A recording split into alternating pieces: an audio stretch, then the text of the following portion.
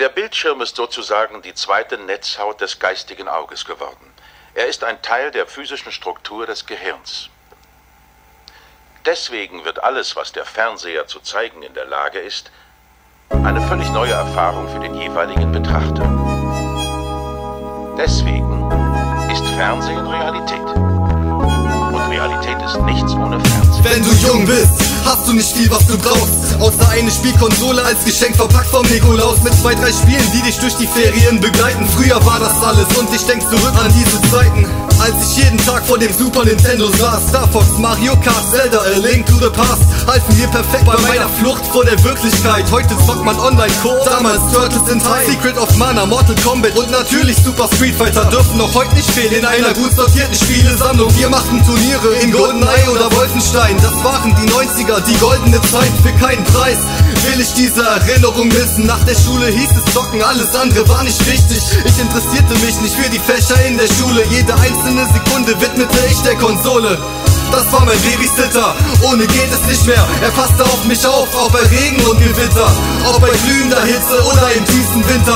Er war der beste Freund für mich und für viele Kinder. Durch die Fernsehzeitung habe ich lesen gelernt. Was ein Dragon Ball ist, konnte mir kein Lehrer erklären.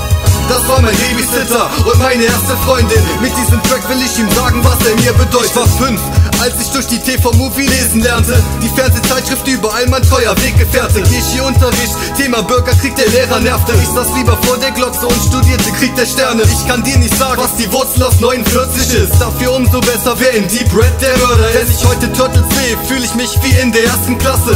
Kram das Ninja-Schwert aus meinem Schrank und sprech mit Ratten. Ich scratch die Platten zu dem Soundtrack von Chip und Chap. Chip, Chip, Chip, Chip und Chap, Ritter des Rechts. Mir wird schlecht beim heutigen RTL 2 TV-Programm. Früher unerreicht, doch seh ich es heute kaum noch an. Brauch ich das? Nein, ich brauche eine Zeitmaschine mit 88 Sachen wie in diesem Cypher-Film. Heute brauche ich 30 Pillen, Crystal Meth und Coke. Früher reichte eine Folge der Text Every Show das war mein Babysitter. Ohne geht es nicht mehr. Er passte auf mich auf, auch bei Regen und Gewitter. Ob bei glühender Hitze oder im tiefsten Winter. Er war der beste Freund für mich und für viele Kinder. Durch die Fernsehzeitung habe ich lesen gelernt. Was ein Dragon Ball ist, konnte mir kein Lehrer erklären. Das war mein Babysitter und meine erste Freundin. Mit diesem Track will ich ihm sagen, was er mir bedeutet. Wir können vom Sofa aus einkaufen oder spielen Mortal Kombat mit einem Freund in Vietnam. Meine Homies spielten Fußball und machten mit Mädchen rum. Ich tauchte lieber mit Kapitän Nemo zum Meeresgrund. Fühlte mich wie schwerelos bei der ersten Folge Astro Dino. Space Jam kam raus, ich trug das Wolfstrikot und saß im Kino. Schaute Bim Bambino auf dem Kabelkanal. Das waren noch Zeiten, Kriegsserien den ganzen Tag von Scooby-Doo Über Gaffel bis hin zu Graf Dracula Ich wollte nie erwachsen sein, so wie dieser Peter Pan. Wollte die Motorräder von Biker Mice from Mars. Und damit durch die Gegend düsen, statt mit meinem Rad. Saß im Opel meiner Eltern, taufte ihn auf den Namen Kids Und fühlte mich wie Michael Knight, wenn wir damit gefahren sind. Ich war kein Kind, ich war ein TV-Zombie Dank Pornos weiß ich jetzt, woher die Babys kommen. Ich kenne Agent Orange, nur aus Reservoir Dogs. Seit Cable Guy vergleiche ich Tim Curry mit Gott das war mein Babysitter, ohne geht es nicht mehr. Er passte auf mich auf, auch bei Regen und Gewitter.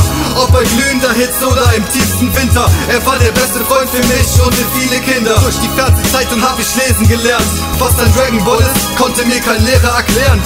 Das war mein Babysitter und meine erste Freundin. Mit diesem Track will ich ihm sagen, was er mir bedeutet. Ich bin